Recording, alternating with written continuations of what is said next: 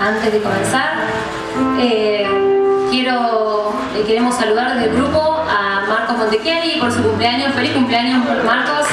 Y entre el primer y el segundo día por la carpa de músicos pasaron aproximadamente 20 grupos ya, 10 academias, con buen marco de público, por suerte, más allá del horario, la gente viene, se da una vuelta por el predio, eh, por todas las actividades que hay y responde muy bien. Se da la mezcla que está muy bueno, que le hace muy bien a la música.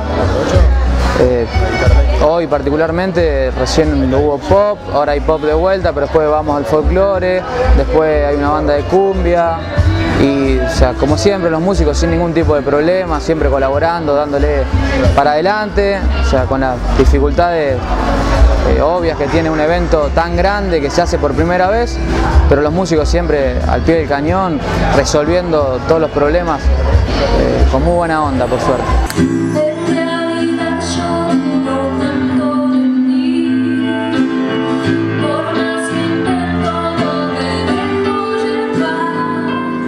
Sí, dentro de la carpa está muy lindo. Eh, para el fin de semana, que va a arrancar temprano, a las 12 del mediodía, eh, va a estar muy lindo, no se siente para nada el frío. Eh, les recuerdo que traigan reposeras, sillas, el mate, algo para sentarse, para que podamos disfrutar del espectáculo del fin de semana, que va a estar muy bueno.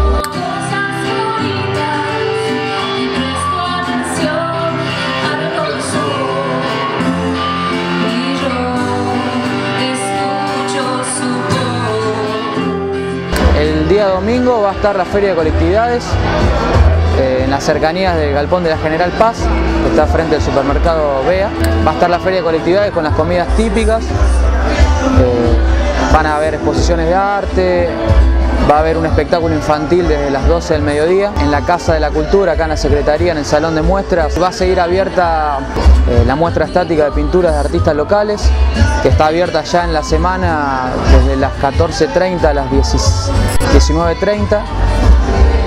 Esa va a seguir abierta durante el fin de semana, van a estar las instituciones municipales, eh, el CEPAD, el museo, abuelas de Plaza de Mayo, mostrando un poco lo suyo. Va a haber muchos artesanos, los muralistas van a seguir pintando, va a estar muy lindo el fin de semana.